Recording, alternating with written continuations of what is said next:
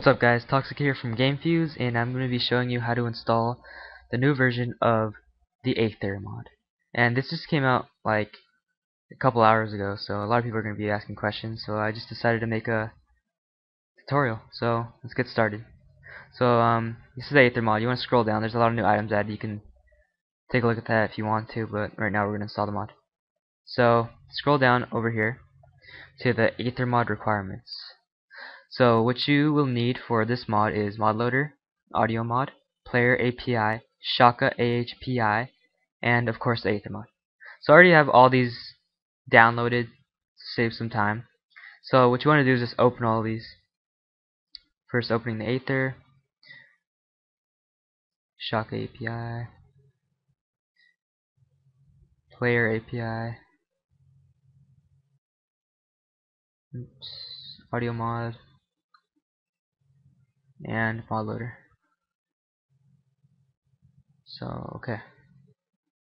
Let's minimize this. So here you have all your opened up requirements. So what you want to do is go up here to the start, go to the search programs and files and type in percent app data percent. This will take you to the roaming folder. So this is the roaming folder right here. So you want to look for the file that's called .minecraft. Mm, it's right here double click on that double click on bin and here's the Minecraft executable jar file which you want to open with WinRAR.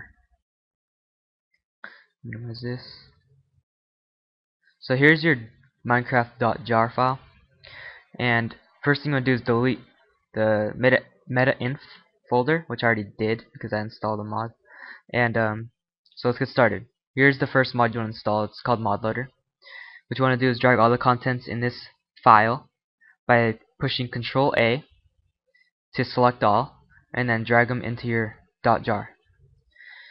This screen will pop up and it's gonna just push OK. Then you want to install audio mod. So what you want to do is hit Control A to select all and drag it in as well. Push OK. You're done with that. Then um, let's do Shockah API first. Then you want to go into Shockah. This is Shockah API. I'm going to double click on the bin. You want to drag, hit Control A to select all. Drag this all into your Minecraft.jar.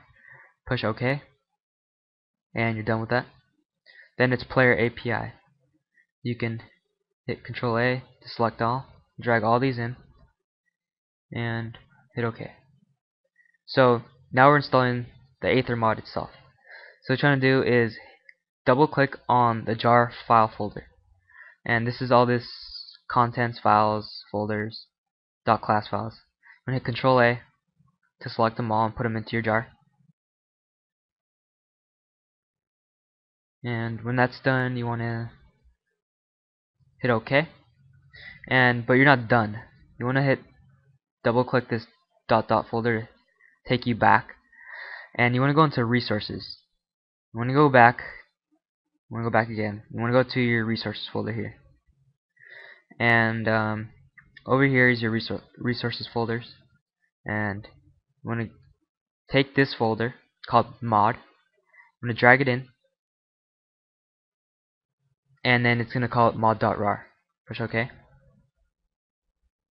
And wait for this to... Uh, and the, the resources folder is for audio. So if you want audio in your mod, you can you have to put the resources folder in the resources. If you don't care about audio, you don't really have to do the step, but it's it's nice to have. So let's just wait for this. Okay, once that's in, it's gonna be a a WinRAR archive folder called mod.rar. I'm gonna click on that, right click it, oops, right click it, and you wanna extract without confirmation.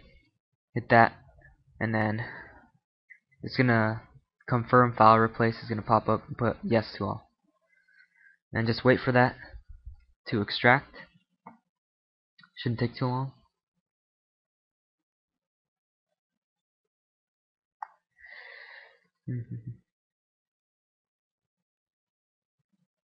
Any day now.